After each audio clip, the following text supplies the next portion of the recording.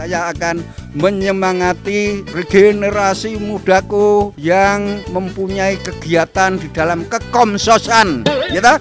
Ya? Nah, semoga kekomsosan ini yang dulu saya sejak 1975 76 saya mengembangkan kekomsosan ini di Keuskupan Agung Semarang.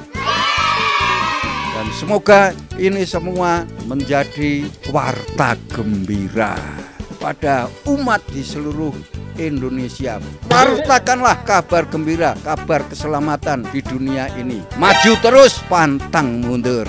Gitu ya? Ya.